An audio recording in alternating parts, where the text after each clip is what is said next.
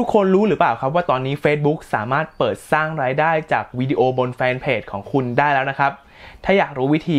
ลองดูคลิปนี้ให้จบนะครับ ในช่วงที่ผ่านมาครับ Facebook เพิ่งปล่อยฟังก์ชันใหม่ที่ชื่อว่า Facebook Watch ขึ้นมาครับ Facebook Watch นี้จะนำโฆษณาจากแบรนด์ต่างๆครับ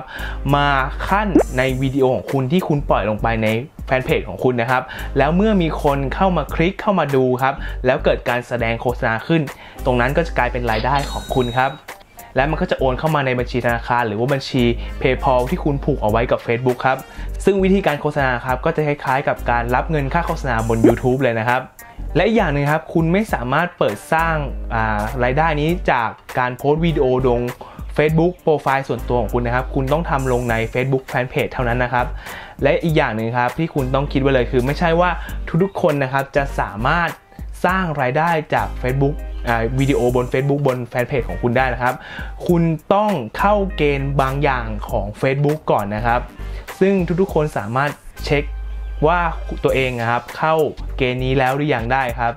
เดี๋ยวเราลองไปดูกันนะครับว่ามันมีอะไรบ้าง ก่อนอื่นครับสำหรับเพจไหนนะครับที่เข้าเกณฑ์นะครับ มันจะขึ้นการสร้างรายได้ให้อัตโนมัติบนหน้าเพจนะครับ คุณสามารถกดเข้าไปได้เลยครับ หรือสำหรับใครนะครับที่อยากจะเข้าไปเช็คว่าตัวเองผ่านเกณฑ์แล้วหรือยังครับ สามารถกดเข้าไปที่ใต้ลิงก์คลิปนี้ได้เลยครับ ผมมีลิงก์ มาสู่หน้าการสร้างรายได้วีดีโอบน Facebook ครับ และสำหรับใครที่กดเข้ามาแล้วนะครับ มันจะเข้ามาสู่หน้าต่างนี้ครับ ซึ่งเราสามารถกดเริ่มต้นใช้งานได้เลยครับ แต่ทีนี้ครับอย่างที่ผมบอกไปครับ เมื่อคุณเลื่อนลงมาแล้วครับ คุณจะเห็นว่ามันจะบอกว่าแฟนเพจของคุณมีคุณสมบัติผ่านหรือเปล่า ที่จะสามารถ รับการโฆษณาจาก Facebook ได้ครับ ซึ่งมันจะเอาแฟนเพจของคุณทั้งหมดครับมากองรวมกันครับ มารวมกันทางด้านซ้ายมือครับเห็นไหมครับ มันจะมีแฟนเพจของคุณมากมายครับ และแฟนเพจที่เข้าเกณฑ์นะครับ ก็จะมีเครื่องหมายติ๊กเครื่องหมายถูกสำหรับแฟนเพจที่ไม่เข้าเกณฑ์ก็จะเป็นเครื่องหมายกากบาทครับเป็นสีแดงๆครับ ส่วนเครื่องหมายถูกครับ คุณก็สามารถมาเช็คได้ว่าแฟนเพจนั้นคือแฟนเพจอะไรครับ แล้วทีนี้ครับเกณฑ์ที่ Facebook ใช้มันคืออะไรครับ เกณฑ์ที่ Facebook ใช้ครับอย่างที่ผมบอกไปมีอยู่ 3 ข้อหลักๆ ด้วยกันครับ ข้อที่ 1 ครับ แฟนเพจของคุณต้องมีผู้ติดตามเกิน 10,000 คนขึ้นไปครับ ถึงจะสามารถเปิดสร้างรายได้จากวิดีโอบน Facebook ได้ และเกณฑ์ข้อที่ 2 ครับ นั่นก็คือการรับชมวิดีโอ 1 นาทีสำหรับวิดีโอที่มีความยาว 3 นาที หมายความว่ายังไงครับ หมายความว่าคุณต้องสร้างวิดีโอที่มีความยาว 3 นาทีหรือมากกว่าก็ได้นะครับ และ ผู้ชมครับต้องชมวิดีโอนั้นนะที่มีความยาวไอ้สานาทีเนี้ยให้มากกว่า 1 นาทีครับอาจจะเป็น 1 นาที 1 วิก็ได้ หรือ 1 นาทีเป๊ะเลยก็ได้ หรือว่าจะเป็น 2 นาที 3 นาที อันนี้ก็แล้วแต่ครับ ก็มันก็จะนับเป็น 1 ครั้งครับ แต่ถ้าน้อยกว่า 1 นาทีมันก็จะไม่นับครับโอเคไหมครับ และทีนี้ครับคุณต้องสร้างผู้ชมที่จะดูวิดีโอแบบนี้มากกว่า 1 นาทีบนวิดีโอที่มีความยาว 3 นาทีของคุณเนี่ยให้ได้ มากกว่า 30,000 ครั้งครับ ภายใน 60 วันที่ผ่านมาหรือว่าภายใน 2 เดือนที่ผ่านมาครับ โอเคไหมครับ คุณถึงจะผ่านกฎเกณฑ์ในข้อนี้ไปได้และข้อที่ 3 ครับ ข้อที่ 3 คือคุณต้องผ่านมาตรฐานพื้นฐานนะครับ ก็คือพูดง่ายๆว่าข้อนี้คุณต้องไม่ทำผิดกฎอะไรบน Facebook คุณก็จะผ่านข้อนี้ครับ โอเคไหมครับ โดยส่วนใหญ่แล้วข้อนี้ครับจะผ่านกันทุกๆคนนะครับ ถ้าเราไม่ได้ไปละเมิดสิทธิ์อะไรของ Facebook ก็ตามครับ โอเคไหมครับ และนั่นแหละครับคือทั้ง 3 กฎเกณฑ์ ถ้าคุณผ่านทั้ง 3 กฎเกณฑ์นี้แล้วครับ คุณก็สามารถสร้างรายได้จากวิดีโอบน Facebook ของคุณได้เลยครับ แต่ถ้าใครยังไม่ถึงเกณฑ์นี้ครับ คุณต้องไปทำ ให้มันเข้าเกณฑ์นี้ก่อนนะครับ ก่อนที่จะมาเปิดสร้างรายได้ไม่งั้นคุณเปิดไม่ได้นะครับ แต่ว่าสำหรับใครนะครับที่ผ่านเกณฑ์ทุกๆ ข้อแล้วครับ ให้ทำตามนี้เลยครับ ให้คุณไปเลือกแฟนเพจที่ผ่านเกณฑ์นะครับ ก็ให้กดที่นี่ครับ ปุ่มที่คำว่าเริ่มต้นใช้งานครับ กดลงไปเลยครับ แล้วเมื่อกดแล้วครับ มันจะพาคุณเข้ามาสู่หน้านี้ครับ ก็คือหน้าเริ่มต้นใช้งานช่วงพักโฆษณาคือ คือการเปิดสร้างรายได้ของคุณนั่นแหละครับ ก็มันก็จะให้คุณเลือก จที่ผ่านเกณฑ์มา1เพจนะครับหรืออาจจะเลือกมากกว่านี้ก็ได้นะครับ ในกรณีที่คุณมีเพจที่ผ่านเกณฑ์มากกว่า1ครับโอเคไหมครับอันนี้ผมขอเลือกมาสักหนึ่งเพจนะครับแล้วก็พอเลือกได้แล้วครับ ให้เรากดปุ่มถัดไปครับ เมื่อเรากดถัดไปแล้วครับ มันจะมาเข้ามาสู่หน้าการอ่านข้อกำหนดของ Facebook ครับ ก็ให้คุณอ่านให้เรียบร้อยครับ อ่านให้เข้าใจครับ แต่ทีนี้ครับผมสรุปให้คุณได้คร่าวๆ 5 ข้อนะครับ โอเคไหมครับ ก็คือข้อที่ 1 ครับ คุณจะได้ส่วนแบ่งอย่างน้อย 55%ครับ จากรายได้ของโฆษณาครับ และข้อที่ 2 ครับ Facebook ครับจะทำการชำระเงินให้คุณทุกๆเดือนครับ ทุกๆ 30 วันครับ โดยโอนเข้าไปผ่านบัญชีธนาคารที่คุณผูกเอาไว้กับ Facebook หรือว่าจะเป็น PayPal ก็ได้นะครับ บัญชี PayPal ซึ่ง Facebook ครับจะโอนขั้นต่ำ100 ดอลลาร์นะครับ ถ้าในเดือนนั้นครับ คุณทำไม่ถึง 100 ดอลลาร์ มันก็จะทบไปอีกเดือนหนึ่งจนกว่าเงินของคุณจะครบ 100 ดอลลาร์ แล้วมันจะโอนเข้าบัญชีของคุณครับ ข้อที่ 3 ครับ ในกรณีที่แฟนเพจของคุณครับทำอะไรที่มันละเมิดสิทธิ์ของ Facebook นะครับทำให้แฟนเพจของคุณโดนปิด หรือว่าโดนระงับไปครับ คุณจะไม่ได้รับเงินในส่วนที่มันค้างเอาไว้เลยนะครับและข้อที่4ครับถ้ามีการเรียกค่าธรรมเนียมอะไรในภายหลังครับอาจจะเป็นจากธนาคารหรือว่าจากอะไรก็ได้ครับ Facebook จะไม่รับผิดชอบส่วนนี้ครับ มันก็จะหักเงินจากรายได้ของเราออกไปนะครับ โอเค และข้อที่ 5 ครับ ก็คือ Facebook เตือนเอาไว้เลยนะครับว่าอย่าอย่าปั๊มวิวครับ อย่าปั๊มวิว อย่าปั๊มวิวให้คนมากดวิวดูคุณนะครับโอเคไหมครับอย่าซื้อวิวให้มาจากเนื้อหาของคุณเองครับ ผมก็ไม่รู้ว่าเขามีวิธีการตรวจจับอะไรหรือเปล่านะครับ แต่เขาเขียนไว้ในข้อกำหนด คุณก็สามารถลองอ่านดูได้นะครับ แบบเต็มๆมันจะมี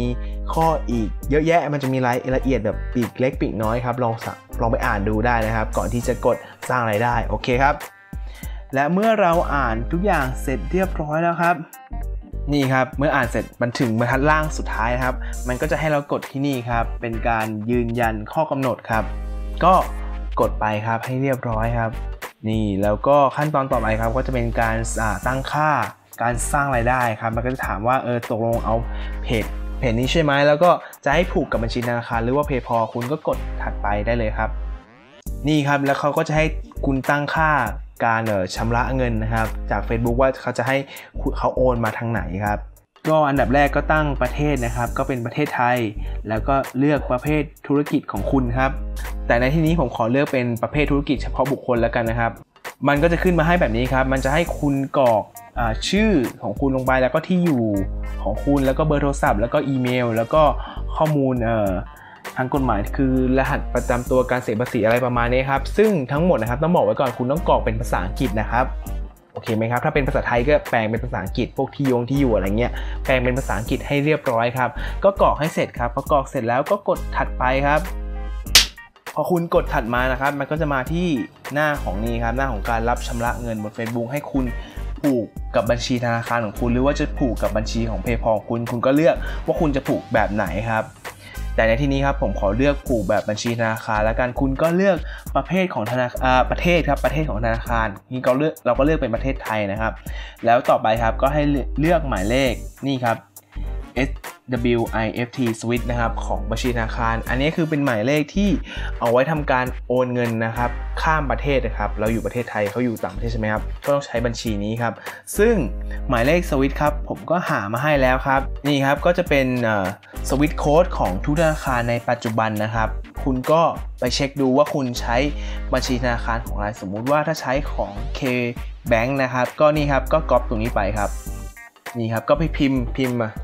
พิมพ์ไปเลย ก็พิมพ์ตรงนี้ไปลงไป คือถ้าคุณใช้บัญชีธนาคารอะไรก็ดูตัวย่อของมันแล้ว คุณก็พิมพ์ตามนี้ครับ ตามข้างหลังนะครับ เห็นไหมครับ ตามข้างหลังลงไปในช่องช่องนี้นะครับ โอเค แล้วเมื่อเสร็จแล้วครับ ขั้นตอนต่อไปคุณก็ใส่หมายเลขบัญชีของคุณ แล้วก็ใส่ชื่อเจ้าของบัญชีผู้ใช้ อย่าลืมนะครับว่าคุณต้องใส่เป็นภาษาอังกฤษ แล้วคุณก็เลือก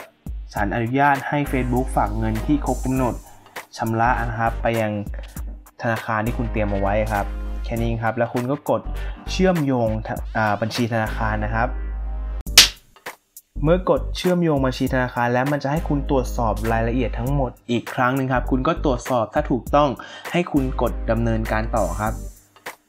เมื่อกดดำเนินการต่อเสร็จเรียบร้อยครับ ก็จะเป็นอันเสร็จสิ้นครับ ก็จะเข้ามาสู่หน้าต่างนี้ครับนี่คุณก็กดปุ่มเรียบร้อยลงไปอีกหนึ่งทีครับ นี่ครับมันก็จะเป็นการเสร็จเรียบร้อยครับ มันก็จะตั้งค่าเสร็จแล้วครับ ก็ให้คุณกดปุ่มถัดไปครับ แล้วมันก็จะถามว่าคุณต้องการใส่โฆษณาลงไปเลยหรือเปล่าในที่นี้ครับ คุณก็สามารถเลือกว่าจะใส่เลย หรือว่าจะข้ามไปก่อนก็ได้ครับ แต่ทีนี้ครับ เวลาคุณเลือกใส่โฆษณาครับ มันจะอาจจะต้องใช้เวลาในการประมวลผลสักหน่อยนะครับว่าโฆษณาจะสามารถไปขึ้นในวิดีโอไหนได้บ้างครับ โอเคไหมครับวิดีโอไหนมันผิดลิขสิทธิ์ของ Facebook หรือเปล่าหรือว่าผิดลิขสิทธิ์อะไรอย่างเงี้ย พิลิขสิทธิ์ของวิดีโอลิขสิทธิ์เพลงมันก็ต้องเช็คกันหน่อยครับ โอเคไหมครับ ก็ถ้าเสร็จเรียบร้อยก็กดส่งครับ นี่ครับมันก็จะทำการ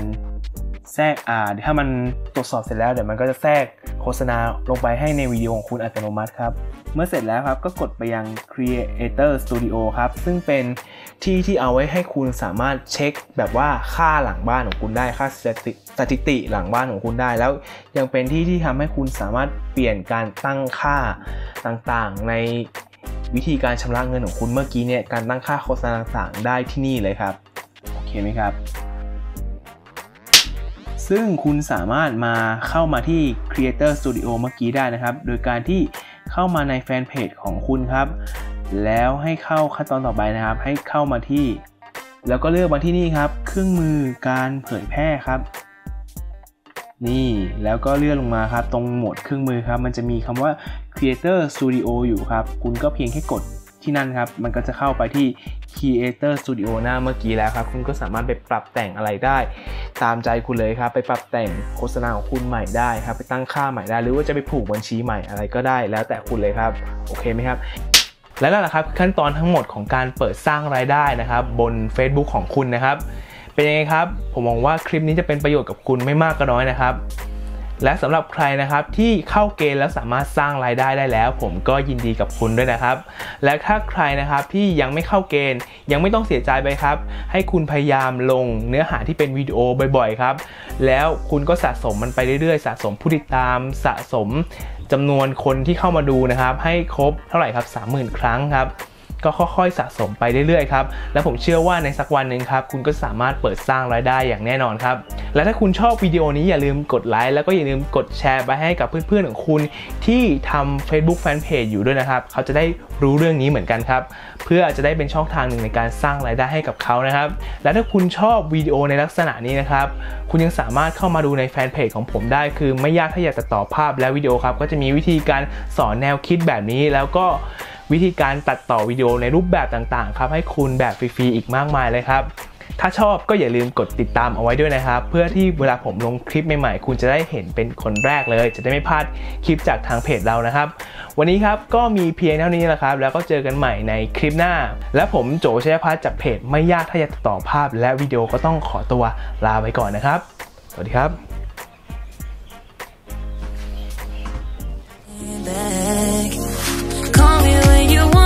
I can't take it on my heart.